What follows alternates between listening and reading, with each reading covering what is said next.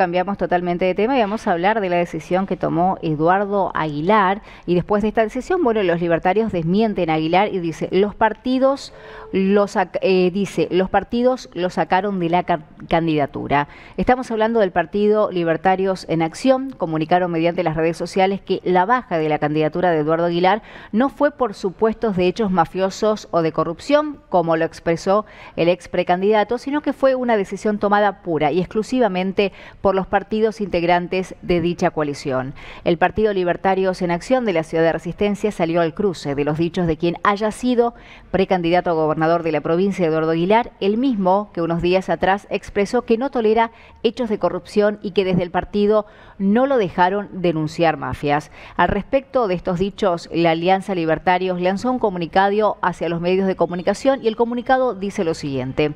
En virtud de las informaciones difundidas en medios de comunicación masivos vinculados con argumentos vertidos por el señor Eduardo Aguilar, manifestando que decidió desistir presentarse como precandidato a gobernador de la provincia del Chaco por esta alianza por supuestos condicionamientos para no denunciar hechos mafiosos o de corrupción este espacio desmiente categóricamente las expresiones expuestas por Aguilar. Libertarios en Acción tiene como eje central denunciar y luchar contra todos los actos de corrupción en cualquiera de los estamentos que se produjera, en cualquiera de sus formas y acompaña incondicionalmente los principios de la vida, los bienes, la transparencia, honestidad y libertad formulados en el proyecto del país de Javier Milei. Comunicamos que la decisión de retirar la precandidatura a gobernador de la provincia en representación de la Alianza Libertarios en Acción fue tomada pura y exclusivamente por los partidos integrantes de dicha coalición,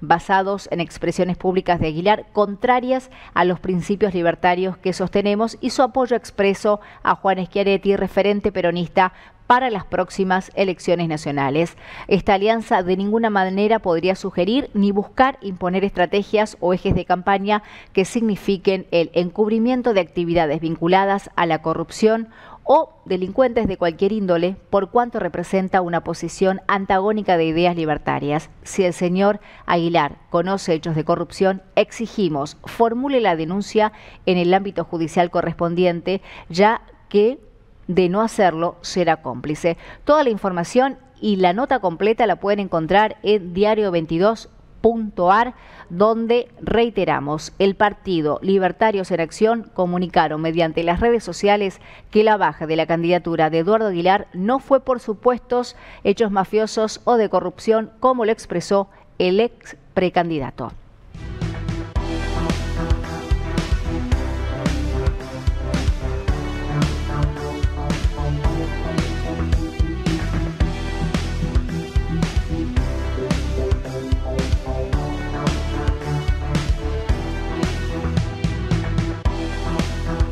Somos el primer canal de noticias desde el interior del país. Transmite desde el histórico chalet Rapachioli, Resistencia, Chaco, Norte Grande Federal. Somos periodismo con historia.